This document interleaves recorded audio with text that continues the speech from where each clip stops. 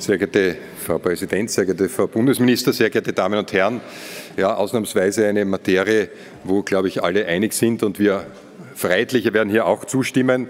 Wir haben das auch bereits gefordert in der Vergangenheit, dass es nämlich eine Abkühlungsphase gibt, also einen Zeitraum zwischen äh, einer politischen Tätigkeit und der Mitgliedschaft im Verfassungsgerichtshof. Das haben wir an sich auch erwartet, dass das schon im Zusammenhang mit dem Informationsfreiheitsgesetz kommt.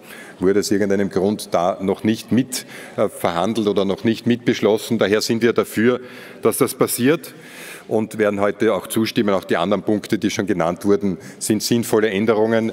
Äh, man könnte hier natürlich auch weiterdenken und überhaupt äh, einen Riegel vorschieben, dass so am Ende von Legislaturperioden dann die Versorgung mit Ämtern im öffentlichen Bereich äh, durchgeführt werden. Denke da zum Beispiel an die Nationalbank, wo man auch die Fristen dann so ein bisschen hinbiegt, damit man noch ausscheidende Minister vielleicht versorgen kann und ähnliches. Also man sollte hier weiterdenken, auch die Staatssekretäre mit einbeziehen, wie auch die NEOS schon richtigerweise angeregt haben.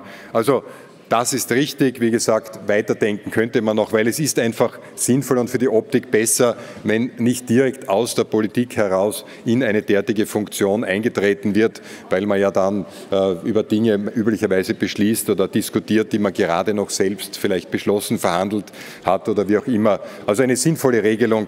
Wir sind dafür.